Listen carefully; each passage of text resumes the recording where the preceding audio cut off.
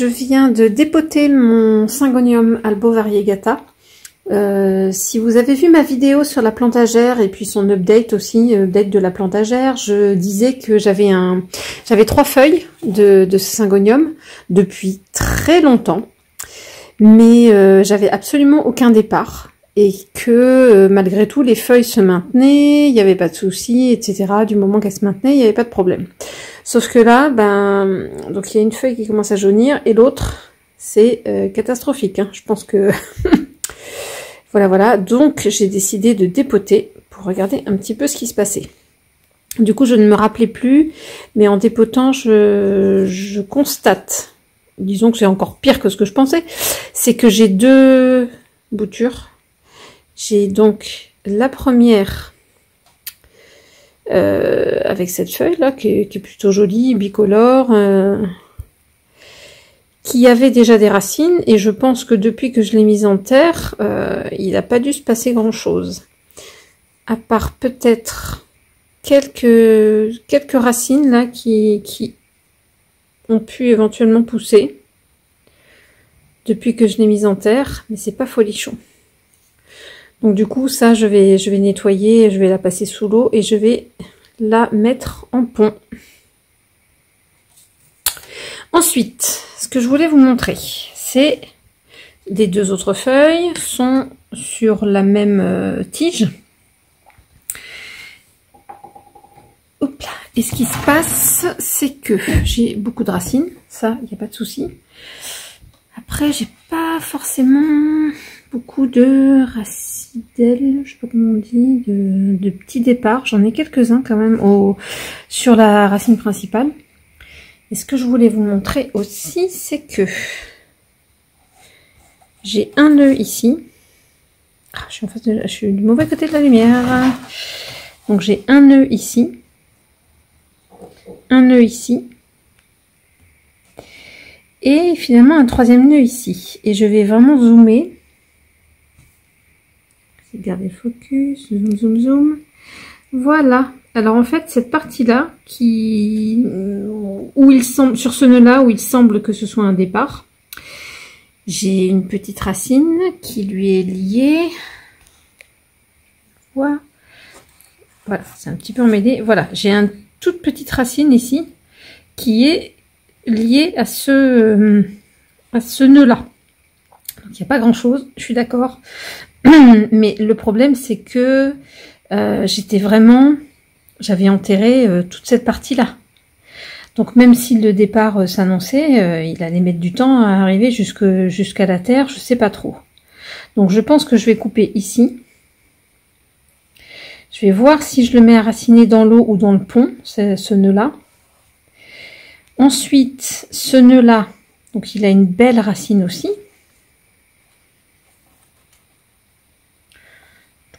Il a ça. Et une deuxième ici. Donc, c'est pas trop mal. Attendez, je vais vous les isoler. Voilà, il a ça comme racine. Ça me paraît un peu sec. La feuille se sent vraiment pas bien, mais euh, je vais essayer de la garder au maximum. J'en sais rien. Je pense que je vais aussi mettre ça en pont et couper entre les deux. Et la dernière partie, alors celle-ci me pose plus de soucis parce que, je vais essayer de vous montrer, sa racine, ben c'est tout ça. Donc en fait, elle fait 3 km de long. Ah, excusez-moi. À une main, c'est pas facile. Voilà. En fait, je sais pas si vous on se rend compte, mais en fait, ça fait 1 km.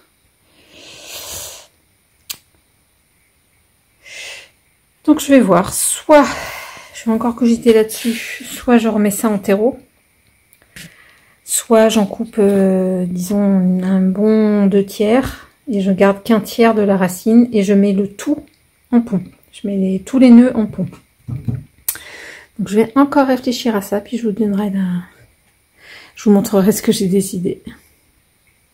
Mais bon, si vous avez des avis, euh, n'hésitez pas à me laisser des commentaires.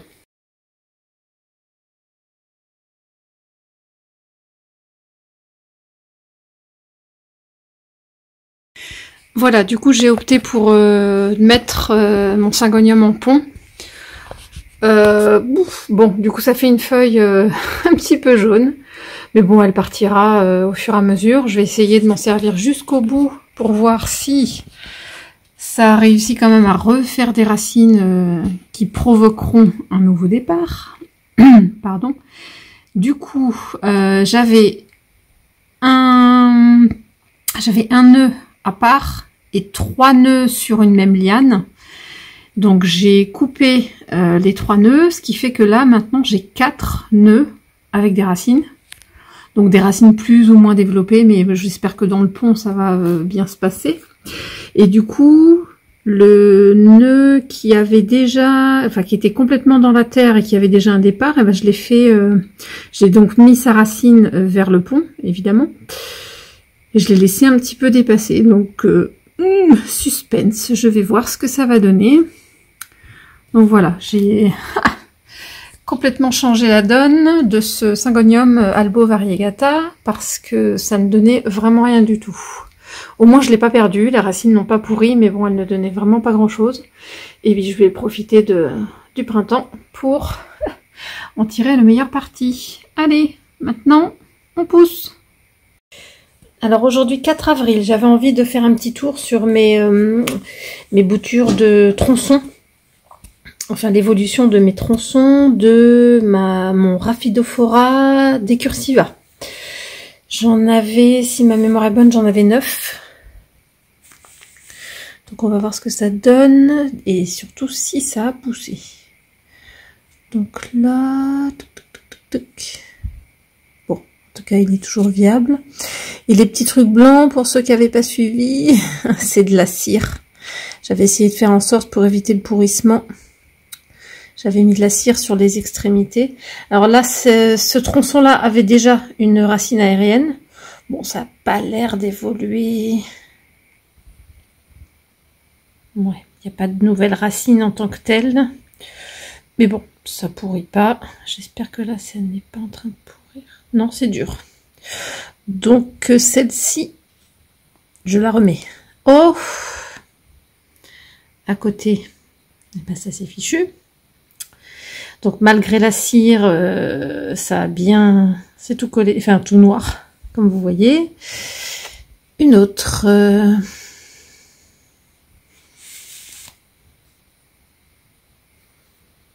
ah, bah c'est la même chose.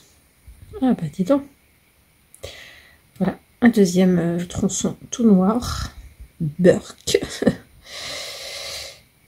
Ensuite, est-ce que j'en ai une autre? Ici. eh ben ça m'a l'air... Ah zut ben, Un autre.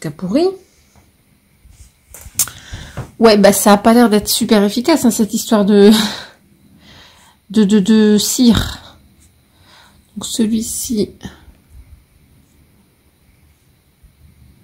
c'est pareil, c'en est un qui avait une racine aérienne. Oh, j'ai l'impression, je vais regarder d'un peu plus près. Évidemment, il faut qu'on s'enlève de ça. Focus. Oh, mais c'est pas possible.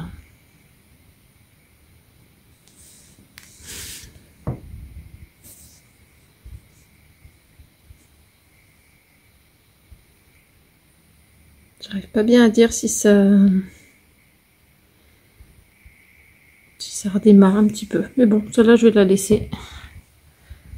C'est pas grave, je suis pas pressée. Mais... Euh, ensuite... Ah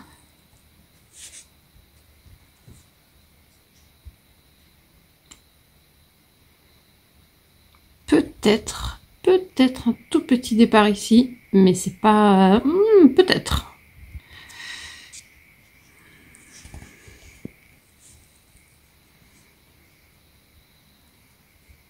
Ici, rien du tout.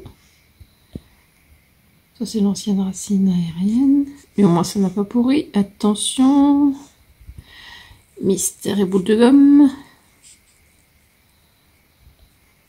tout cas, c'est pas tout noir. Ici, c'était une racine aérienne. Et qui n'a pas l'air... Euh, je vais laisser quand même, c'est pas grave. Est-ce que j'en ai d'autres par ici? Oui, il y en a encore une ici qui n'a pas pourri. Ah.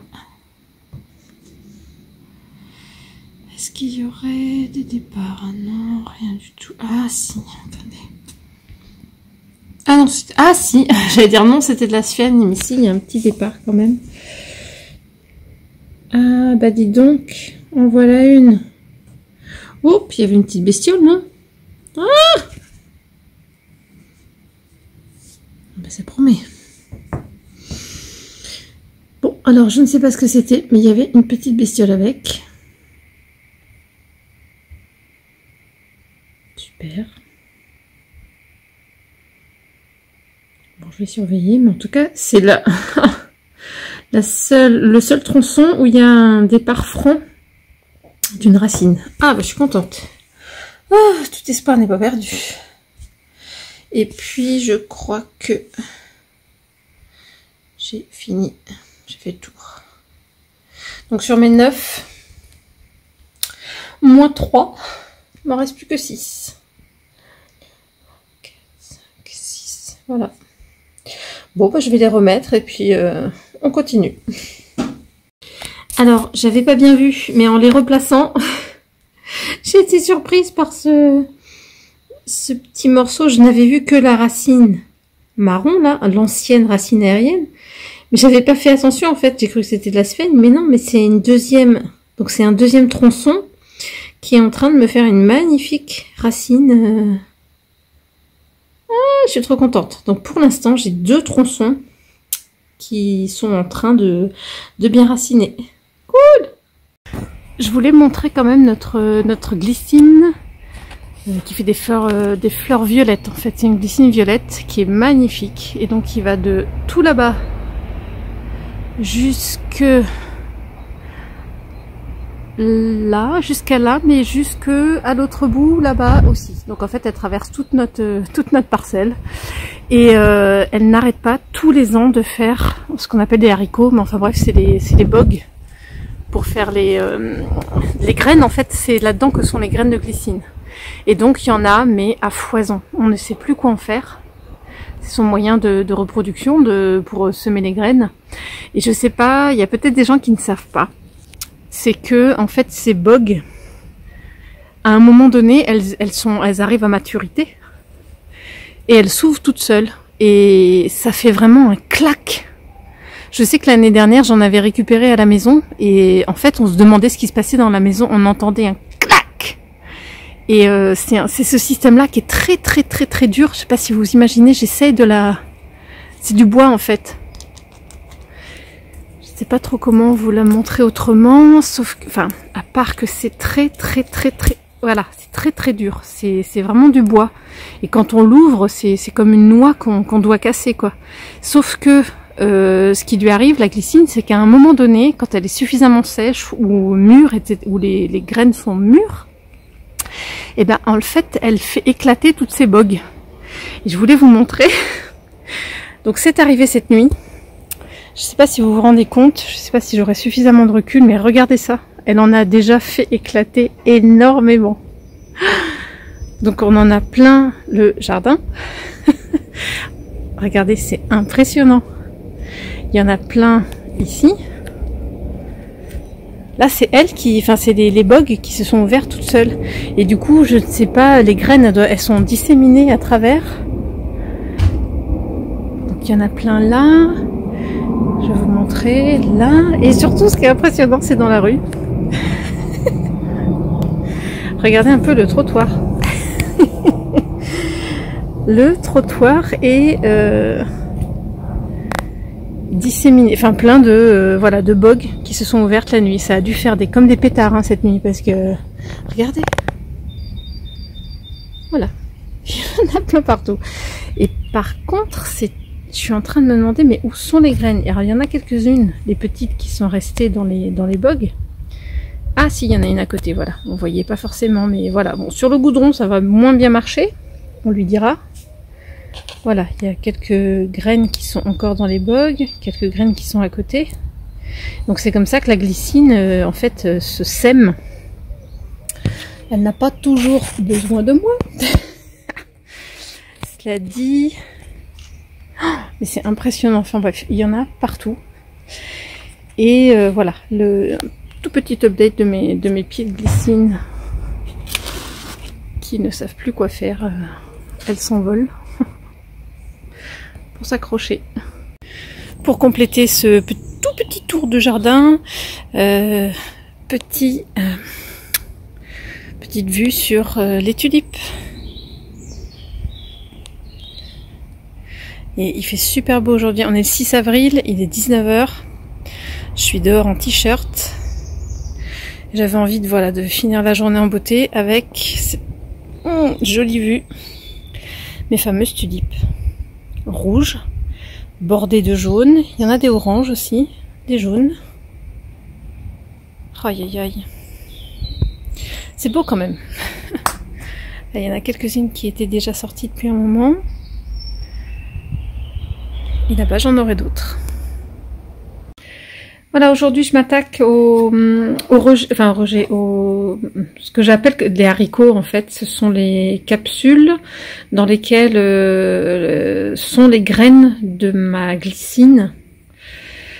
Euh, donc en fait il y en avait des milliers, des milliers, des milliers de comme ça. Je vous ai montré un petit peu comment ça se passait quand elles explosaient. Et bon j'en avais récolté avant qu'elles s'ouvrent. Là par exemple une qui n'est pas encore ouverte. C'est vraiment tout doux, hein. On dirait du bois. Euh, c'est dur comme du bois, mais qu'est-ce que c'est doux? Je vais essayer d'approcher un peu, de faire le focus. Peut-être pas, hein. c'est pas ce que ça donne à la caméra, mais en tout cas c'est tout, tout doux. Euh, donc voilà, je voulais vous montrer quand ça s'ouvre. Vous voyez celle-ci par exemple, elle est toute tordue, elle s'est ouverte toute seule. Et voilà, donc les graines, elles, sont, elles ont chacune leur emplacement. C'est vraiment très très rigolo, bah, comme des haricots peut-être. Hein. Et donc euh, voilà, je les récolte euh, comme ça. Voilà. Donc il en reste, hein, elles sont pas toutes ouvertes. Je verrai peut-être pour l'année prochaine parce que déjà si j'arrive à faire germer tout ça et que chacune me donne, oh pardon c'est bon, et que chacune arrive à me redonner une glycine, euh, ça va être bien. Alors vous voyez, elles sont plus ou moins sèches. Je vais vous montrer plus en détail. Elles sont plus ou moins sèches, plus ou moins grandes, euh, etc. Et elles sont plutôt bombées. Voilà, je pense que c'est... Euh, c'est plutôt pas mal. Et je vais les mettre à germer avant de éventuellement les rempoter quand elles auront euh, fini de germer. Je vais vous montrer. Alors du coup, ce qu'on va faire, c'est... vous allez voir. C'est simple. Une petite boîte de récup avec son couvercle. Bon, je l'ai prise assez euh, assez épaisse quand même, histoire de voilà qu'il y ait un petit peu de hauteur pour les graines. Mais de toute façon, euh, dès que ça aura commencé à germer, ça restera pas forcément euh, longtemps dans cette dans cette petite boîte. Je vais prendre quelques essuie-tout parce que je sais que ça, ça racine vraiment. pour l'avoir déjà fait, ces graines-là, elles racinent vraiment très très rapidement. Et puis voilà, il n'y a pas besoin de profondeur, pas besoin de coton. vous allez voir, ça va bien se passer. ça va vraiment prendre de l'ampleur. J'en remettrai un au-dessus. Histoire de garder vraiment l'humidité, mais ce n'est pas, pas forcément nécessaire. Donc je vais garder, je vais mettre quelques graines. Tout simplement.